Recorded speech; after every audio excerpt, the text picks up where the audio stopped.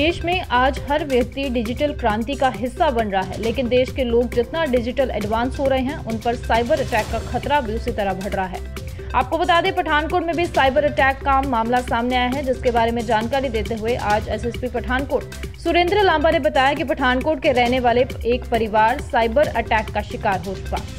SSP Surendra Lamba ने कहा कि अब साइबर अटैक वाले नए तरीके के हथकंडे अपनाकर लोगों को लूट रहे हैं और बीते दिन जो मामला सामने आया, उसे सुनकर हैरान रह जाएँगे कि किस तरह से आपको एक फ़ोन आता है और फिर कहा जाता है कि मैं आपका कोई रिश्तेदार हूँ। उसके बाद आरोपी द्वारा आपको पैसे भेजने के नाम पर आपसे ठगी कर ली जाती है और आप साइबर क्राइम अटैक का शिकार हो जाते हैं। और क्या कहा एसएसपी सुरेंद्र लांबा ने? साइबर क्राइम को लेकर आप खुद ही सुनिए। जी, नमस्कार पहले तो सबको और ये बहुत इम्पोर्टेंट इशू है और इस पे बात करना और लोगों को अवेयर करना भी बहुत ज़रूरी है। जिस तरीके की modus operandi recently cyber fraud के अंदर एक नई मोडस ऑपरेंडी ऐड हुई है, वो ये है कि आपको एक फ़ोन आता है, आपके किसी नोन के नाम से, और जो रिसेंटली कुछ फ्रॉड यहाँ पे हुए हैं पठानकोट में, और कुछ और दूसरे शहरों में भी मुझे रिपोर्ट हुए हैं, कि किसी विदेश से किसी आपके जानकार का फ़ोन आएगा, किसी अननोन नंबर से, उसके नाम से, जानकार के नाम से आएगा, या वो आपको गैस करने के लिए बोलेगा कि आप नाम गैस करो, आप मुझे पहचानो, और फिर आप एक नाम बताएँगे, और वो वही नाम कहेगा कि हाँ मैं यही बोल रहा हूँ। और उसके बाद में वो आपसे बात करेगा कि मुझे इंडिया आना है। और इंडिया में मैं कोई प्रॉपर्टी ख़रीदना चाहता हूँ, उसके लिए मैं आपके खाते में पैसे डालना चाहता हूँ। इंडिया में मैं कोई गाड़ी ख़रीदना चाहता हूँ, उसके लिए मैं आपके खाते में पैसे डाल देता हूँ। आप मेरी गाड़ी बुक करा देना। इंडिया में मैं कोई इन्वेस्टमेंट प्रोजेक्ट ला रहा हूँ, उसके लिए मैं आपके खाते में पैसे डालना चाहता हूँ। तो आप अपने खाता नंबर मुझे भेज दो और मैं आपके खाते में पैसे डाल देता हूँ। उसके बाद में फिर वो आगे फर्दर इन्वेस्टमेंट हम करेंगे। तो इसमें एक अमूमन एक आद, एक आदमी की सोच होती है कि मेरे खाते से जा कुछ भी नहीं रहा है और ये कुछ ना कुछ मेरे खाते में पैसे ट्रांसफ़र करने की बात कर रहा है। तो इसलिए आदमी को कभी शक नहीं होता है कि ये कोई फेक या फ्रॉड कॉल हो सकता है। उसके बाद में वो आपसे आपका अकाउंट नंबर लेके और बाकायदा आपको रसीद भेजेगा कि जी आपके खाते में मैंने ये पैसा ट्रांसफ़र कर दिया है। कई बार फेक बैंक का कॉल भी आता है कंफर्मेशन के लिए, जो कहता है कि जी, जैसा उसने पहले फ्रॉड ने कहा होता है कि मैं आपके खाते में बीस लाख डाल रहा हूँ, दस लाख डाल रहा हूँ, तीस लाख डाल रहा हूँ, बैंक से कॉल आता है कंफर्म करने के लिए और बैंक वाले पूछ रहे होते हैं आपको कि जी, आपके खाते में इतने पैसे आने क्या आप ठीक रिसीवर हैं और ये आपके खाते में ट्रांसफ़र करवा रहे हैं? तो हम क्रॉस चेक करने के लिए एक बार आपको फ़ोन कर रहे हैं।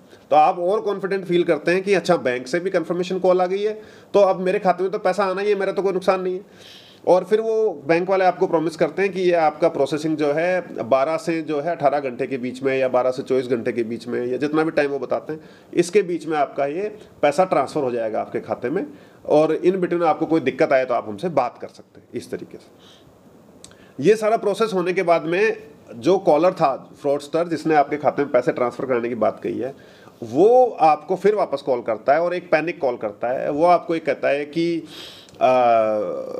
पाजी, भाई साहब या मतलब अंकल या जो भी कुछ कहना है, उसने कह के कि जी मेरे इंडिया में ये दोस्त को कुछ पैसा मुझे देना है और अर्जेंटली देना पड़ेगा। ये किसी वीज़ा फ़ीस के नाम पे, किसी एयर टिकट के नाम पे, किसी और अर्जेंट रिक्वायरमेंट के नाम पे वो आपको कहता है कि जी जैसे मान लो उसने आपके खाते में बीस लाख जमा कराया, वो आपको कहता है जी तीन लाख रुपये आप ये फटाफट ये खाते में आप ट्रांसफ़र कर दीजिए। तो आपको लगता है मेरे खाते में तो पैसा बीस लाख इसका आ ही रहा है? मैं तीन लाख रुपए इसके कहने पे चलो, मेरा जानकार है, मेरा दोस्त है, मैं कर देता हूँ इसको, मैं क्या मना करूँ? तो आप फिर वो उसके कहने पर दो लाख, तीन लाख, चार लाख अमाउंट ट्रांसफ़र कर देते हैं। उसके बाद में फिर से वो कोशिश करते हैं, जब तक कि आप पक, आपको शक नहीं हो जाता है वो फिर से आपको फिर पैनिक कॉल करेगा और फिर कहेगा कि जी ये एक और अर्जेंट रह गया है, इसको भी आप दो लाख या तीन लाख फिर ट्रांसफ़र कर दो। तो आप फिर से उसका ट्रांसफ़र कर देते हैं। कई बार आप टाल टोल करने की कोशिश करते हैं कि नहीं जब तेरा अकाउंट आ जाएगा, तब मैं कर दूँगा। फिर वो आपको इमोशनल थोड़ा सा अपना कार्ड प्ले करता है कि पाजी मैंने आपके ट्रस्ट करके मैंने आपके खाते में बीस लाख डलवा दिए, आपको मेरे पे यही ट्रस्ट नहीं है। इस तरीके की जो चीज़ें मतलब पर्सनल रिलेशनशिप को क्वेश्चन करने लग जाता है। और संभव आप इस मॉरल प्रेशर में, वो ट्रैप में, उसमें होके आपको लगता ही नहीं है कि कभी फ्रॉड हो सकता है और आप वो पैसे उसके खाते में ट्रांसफ़र करवा देते हैं। तो कई लोगों के साथ चार चार, पाँच पाँच लाख रुपए, अभी जो रिसेंटली फ्रॉड एक रिपोर्ट हुआ है, मुझे साढ़े सात लाख रुपए ऐसे ही किसी बंदे के जो हैं, वो फ्रॉडस्टर ने ट्रांसफ़र करवा लिए। तो इसके लिए आपको रियलाइज़ ही कई बार तो होता है अगले दिन। जब आपको लगता है कि जब आप बात करते हैं कि मेरे खाते में पैसा नहीं आया और आप ओरिजिनल जो कॉलर का जो ओरिजिनल बंदा है, उसको आप फ़ोन करते हैं कि जी, आपके खाते में, आपके कहने पे मैंने पैसा ट्रांसफ़र किए और वो बिल्कुल अनजान ज़ाहिर करता है कि भाई मेरी तो बात ही कोई नहीं हुई। तब आपको पता लगता है कि आपके पास फ्रॉड हो गया है। तो इसलिए आपके माध्यम से मैं ये सभी लोगों तक पहुंचाना चाहूँगा ये बात कि इस तरीके की मॉडस ऑपरेंडी और ट्रैप में बिल्कुल ना आए। अगर आपके पास इस तरीके का कोई भी कॉल आता है, पैसा आने की बात है, वो ठीक है, पैसा आ जाए बट आप किसी के कहने पे कोई पैसा ट्रांसफ़र ना करें पहली बात। दूसरी बात, इसी के साथ साथ कुछ लोग आपसे ओटीपी शेयर करने की बात करेंगे, कुछ लोग आपसे जो है एक ऐप डाउनलोड करने की बात करेंगे तो ये ना आपने ऐप डाउनलोड करना है किसी के कहने पे, ना किसी के कहने पे ओटीपी शेयर करना है, ना किसी के कहने पे पैसे ट्रांसफ़र करने हैं। जिसको आप जानते नहीं हैं, जिसको आप पूछते नहीं हैं, जो आपके सामने नहीं बैठा और जिसको आपने क्रॉस चेक नहीं कर लिया है दो बार, उसके कहने पे कोई भी कार्रवाई ना करें। डिफरेंट डिफरेंट मॉडल्स ऑपरेंटेज के साथ फ्रॉडस्टर्स ये साइबर क्राइम कमिट कर रहे हैं। इसके बाद में जब ये इन केस इस तरीके की चीज़ हो जाती है गलती से फिर भी तो सबसे पहले 1930 1930 नेशनल साइबर क्राइम हेल्पलाइन का नंबर है। आप तुरंत अपने मोबाइल से इस पे फ़ोन करें। तो सिर्फ़ रिसेंटली जो कंप्लेंट है उस किनकी कंप्लेंट है और उसके ऊपर क्या पुलिस ने उसके बारे में मैं डिटेल आपको बताऊँ। पहले मैं इसी को कंटिन्यू करता हूँ कि सबसे सबसे पहले आप तुरंत जो है 1930 पे फ़ोन करें। फ़ोन करके और अपना इंसिडेंट रिपोर्ट करें।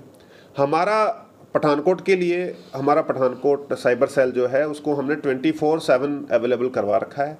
उसका फ़ोन नंबर सभी लोगों के पास अवेलेबल है। हमारा हेल्प डेस्क यहाँ पे लगा होता है मेरे ऑफ़िस पे।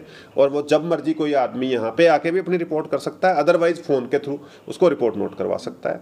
तो वो रिपोर्ट करवाना बहुत ज़रूरी है, क्योंकि अगर आपके खाते से एक बार पैसा अगर कोई निकाल लेता है तो उसको ट्रेस करना, उस पर कार्रवाई करना, उसकी इन्वेस्टिगेशन करना is a very lengthy process तो इसलिए आपका फ्रॉड ना हो पहले ये सतर्कता बहुत ज़रूरी है। इन केस कोई गलती हो जाती है तो तुरंत नेशनल साइबर क्राइम हेल्पलाइन पर रिपोर्ट किया जाए सो दैट कि उसको आ, उसी अकाउंट को उस खातों के ट्रांजेक्शन को इमिडिएटली फ्रीज किया जा सके।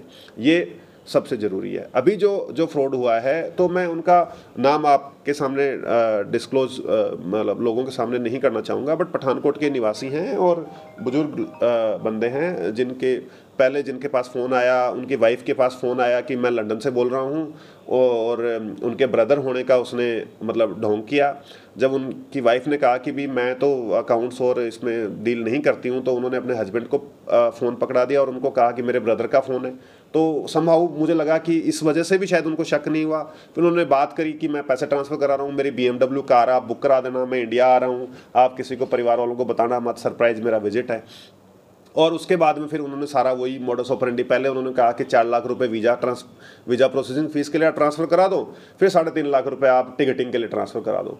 तो और उसके बाद में फिर उन्होंने रसीद भी, उनको सिटी बैंक की रसीद, एक फेक रसीद भी भेज दी। उनको लगा कि रसीद भी आ गई तो इसका मतलब ट्रांसफ़र हो जाएगा। बट ये ओबियसली मतलब फ्रॉड था तो होना नहीं था। तो हम इसमें आगे इन्वेस्टिगेट कर रहे हैं, हमने काफ़ी अकाउंट्स फ्रीज करवा दिए हैं इसमें। बट अच्छा फिर क्या होता है इसके आगे नेक्स्ट स्टेज है। जब आप फ्रॉड रिपोर्ट कर भी देंगे तो वो आपको फिर से कहेगा कि जी आप हमें रसीद भेज दो हम आपको वापस आपके खाते में डलवा देंगे पैसे। वो तब तक नहीं मानेगा जब तक कि आप उसको ब्लॉक नहीं कर देते हैं। वो तब तक अपने आप को ऑनेस्ट और आ, सही ही प्रूव करता रहेगा कि गलती से आपके खाते से पैसे कट गए। तो आप हमें बता दो हम आपको दे देंगे। और फिर आपका ओटीपी शेयर करवा देगा या कुछ और दूसरे ट्रैप में डालने की कोशिश करेगा। अगर आप नहीं डले तो वो फ़ोन रख देगा। अगर आप डल गए, फिर से ओटीपी डाल दिया या फिर से कोई ऐप डाल दिया, फिर से आपके पास से फ्रॉड कर जाएगा।